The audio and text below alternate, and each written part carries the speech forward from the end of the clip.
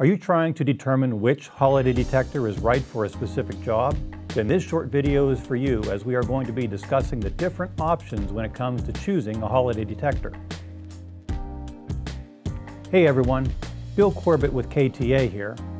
Today we will be discussing which holiday detector type is the correct one for your project.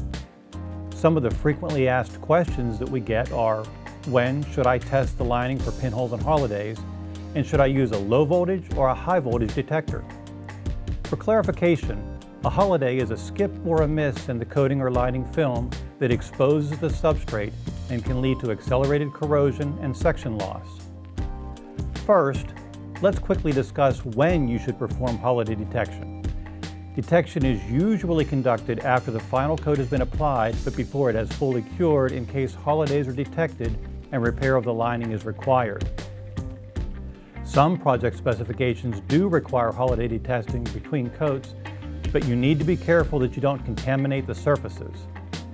The answer to which type of detector to use is fairly simple. Low voltage or wet sponge detectors are used on coatings or linings that are less than 20 mils thick, while high voltage or spark testers are used on coatings greater than 20 mils thick. High voltage detectors can be used on coatings that are 10 to 20 mils thick, provided the voltage is calculated and set correctly. For more information on calculating voltage settings, resource ASTM D5162.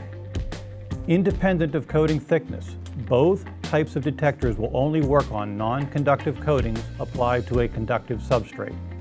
For example, epoxy coatings applied to steel can be tested for holidays. However, a zinc-rich coating or a coating filled with aluminum flakes applied to the same steel cannot because zinc and aluminum are conductive metals in the coating. High voltage holiday detectors can be used on non-conductive coatings applied to concrete since concrete often has conductive components, such as residual moisture that makes it conductive. If you need to purchase either type of holiday detector, we have many different brands available at ktagage.com where our complete line of coating inspection equipment is featured. We hope that you found this short video on how to choose the proper type of holiday detector helpful. If you got value from this video, please give us a like, hit the subscribe button below, ring the bell, and follow us online to be updated about future videos like this one. See you next time.